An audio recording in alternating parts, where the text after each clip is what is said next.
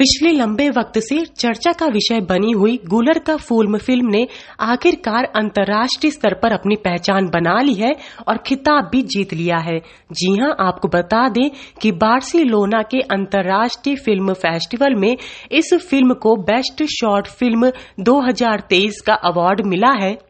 गर्व का पल हम इसलिए कह रहे हैं क्योंकि यह फ़िल्म अवधि भाषा में बनाई गई है और इस फ़िल्म के साथ ही अवधि भाषा को भी एक नई पहचान मिल गई है।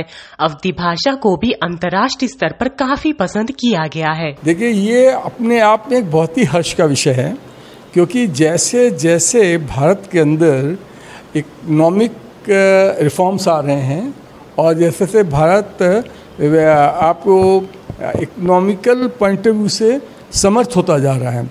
वैसे वैसे जो आंचलिक भाषाएँ हैं, उनका उनको रिकॉग्नाइज किया जा रहा है।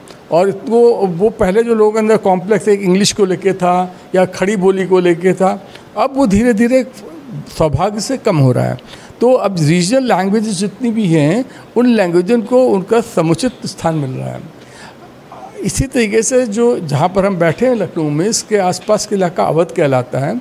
तो अवध के अंदर भी एक अभी शॉर्ट फ़िल्म बनाई है, करीब करीब तेरह मिनट की वो फ़िल्म है। और इसके जो डायरेक्टर हैं, वो है धीरज भटनागर।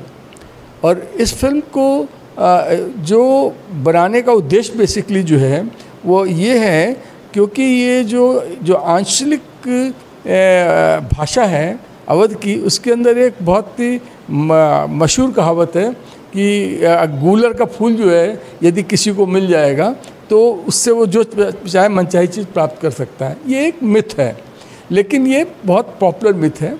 तो इसके ऊपर बेस करके इसलिए इस फ़िल्म कहानी को लिखा है सुधीर मिश्रा जी ने।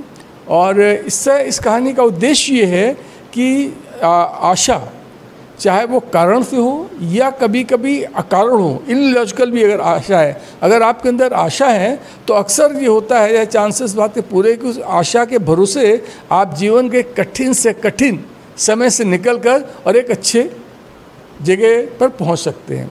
सब के सब वो जो, इसके जो एक्टर हैं, वो यहाँ लखनऊ के ही हैं, लोग हैं। और इस फ़िल्म को सबसे इसकी विशेष बात यह है कि जब ये फ़िल्म बन रही थी तो ये शॉर्टेस्ट पॉसिबल टाइम और शॉर्टेस्ट पॉसिबल बजट में फ़िल्म बनाई गई है। अवधित अवध क्षेत्र नहीं, बल्कि और भी जो भारत की रीजनल भाषाएँ हैं, उनको भी इससे प्रेरणा मिल, मिलती है कि वो भी अगर फ़िल्म अच्छा संदेश देती है, कहानी अच्छा संदेश देती है और डायरेक्टर्स को अच्छे तरीके से उसको पर्दे पे दिखा सकते हैं तो हम लोग दुनिया के किसी भी, की किसी भी फ़िल्म से बेहतर फ़िल्में बना सकते हैं। यकीनन यह पल देशवासियों के लिए गर्व का है। लखनऊ से अंजलि सिंह राजपूत की रिपोर्ट, न्यूज़ एटीन।